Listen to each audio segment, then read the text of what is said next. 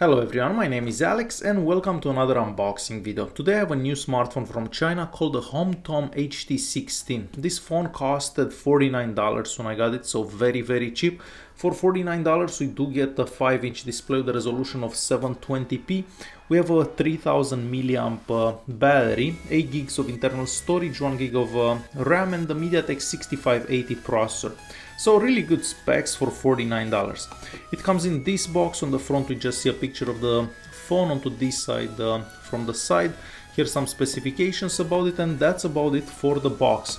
So let's go ahead and uh, open this. So I have the phone right here. It does uh, feel really nice. So let's see what we get in the box. So we do have a micro USB cable like any other micro USB cable, nothing special. Now the charger, I'm not sure if it's gonna be a fast charger, I highly doubt it, but let's see if we can read this.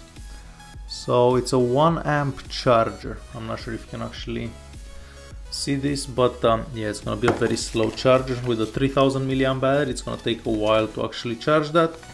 And the manual, it's in English, we don't have any pictures and no information really just some safety information.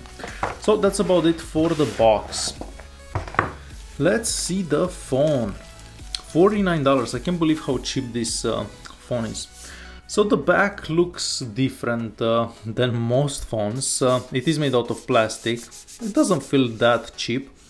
At the bottom here we do have the speaker um, here the brand which is a HomTom that's an 8 megapixel camera, which is in fact a 5 megapixel sensor uh, interpolated to 8. That's the flash right there. On top here um, we just see the 3.5mm audio jack, the charging port, the buttons, the volume button and the power uh, button. It's also they're also made out of uh, plastic. On to the bottom here, um, again we have a microphone uh, nothing else.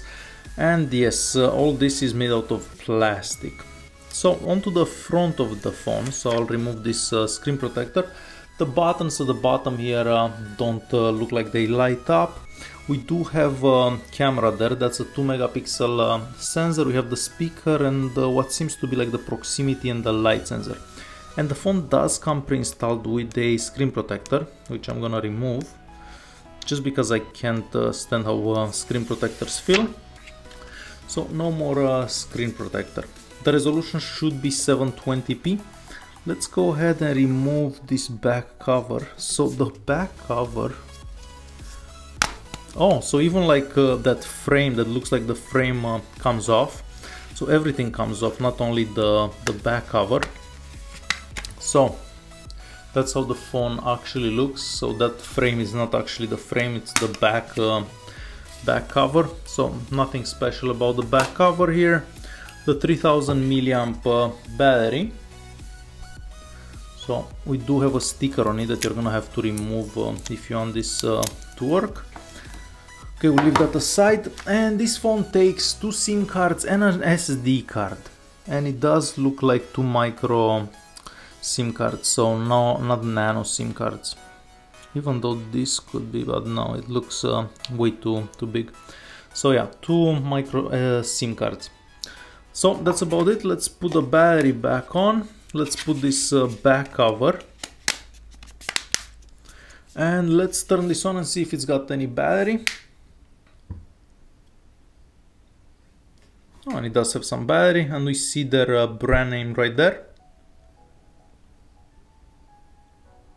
and it's probably gonna take a bit uh, till it starts up. This phone also has uh, Android 6, so even though it only has 8 gigs of internal storage, you can just uh, put an SD card and uh, increase the storage space. That was the boot up animation. And we're on. So let's uh, go through the setup here. So we'll skip the SIM cards. We'll connect to the Wi-Fi. I can already tell you that the phone uh, can only see the 2.4 gigahertz uh, Wi-Fi networks, so we don't have um, dual band Wi-Fi on it.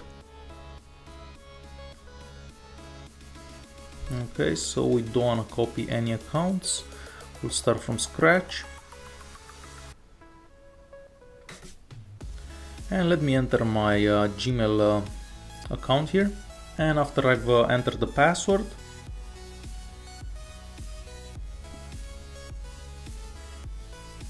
so we'll uh, press next. We don't set up any payment info. And it should start up um, very soon. We will skip this not now. Next. Next. Let's uh, skip that. So we don't want to protect the phone. Skip anyway. We don't want to do that either. Also I guess I pressed uh, restore. So um, after it restores um, whatever uh, I will be back and it didn't take that long and the phone started so first of all the screen so it doesn't have uh, that bad uh, viewing angles. I mean, it's not the best uh, screen ever, but uh, for the $49 price, uh, I think the screen looks fairly good. Even the colors look rather good. I'm curious to see how the sensitivity will be in the long run. So um, it does look very close to Android, not not that much stuff on it. If we keep this button pressed, we're just gonna see whatever recent apps we have. With this one we can choose uh, wallpaper. So very close to stock android.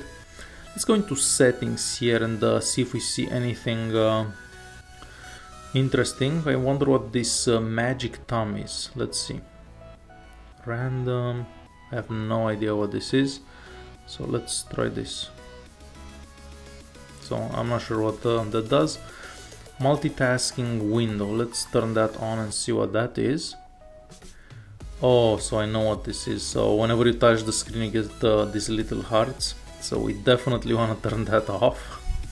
Oh wow. Okay. So that magic, uh, that float window, it's right here. So I guess uh, let's move this on here. So you can choose any of these. Oh, this is a pretty cool thing actually.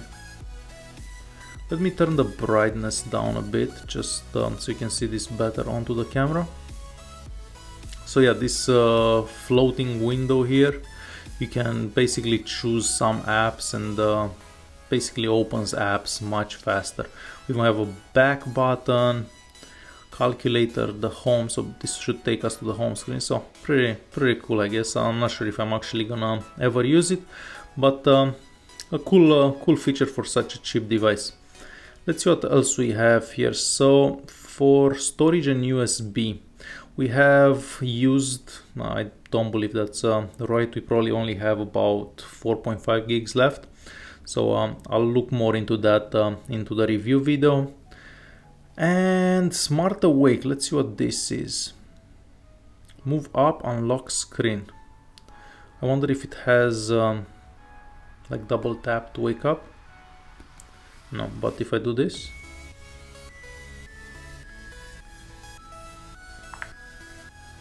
Okay, it doesn't uh, register all the time from uh, what I'm seeing. But it's uh, it's kind of too long uh, if you ask me. And it doesn't register uh, every single time. It vibrates uh, whenever it does, so I'm not sure if that's such a cool feature. Okay, so we can turn this off. And I've seen something else, system body feeling smart switch flash uh, nothing too too exciting and at about phone here um, we can see the android version which is android 6 and the latest security patch is from june 2016 so not too bad so that's about it for the settings app no uh, no other things we just uh, have that uh, turbo download and here we even have uh, adaptive brightness so what that does uh, it will make the screen brighter or dimmer depending on the conditions uh, in the whatever spot you are. So the camera onto the back. Let's uh, see how that uh, does. So we do have a 5 megapixel uh, sensor onto the back.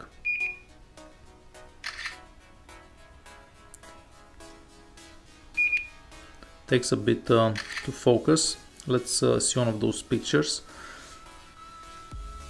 So not the brightest picture out there and the picture does become uh, a bit uh, grainy when you zoom in closer. So let's turn the camera around, uh, take a picture of myself. And let's uh, take a look at that picture. Well, better than I was uh, expecting. We can actually see the writing onto the camera there. So uh, for a 2 megapixel sensor, I guess uh, it's uh, good enough. Alright guys, uh, I will definitely do a full review of this uh, phone after I uh, use it for a bit so I can get a better feel for it. Um, if you do have any questions, feel free to leave a comment down below. Thanks for watching and I'll see you in the next one.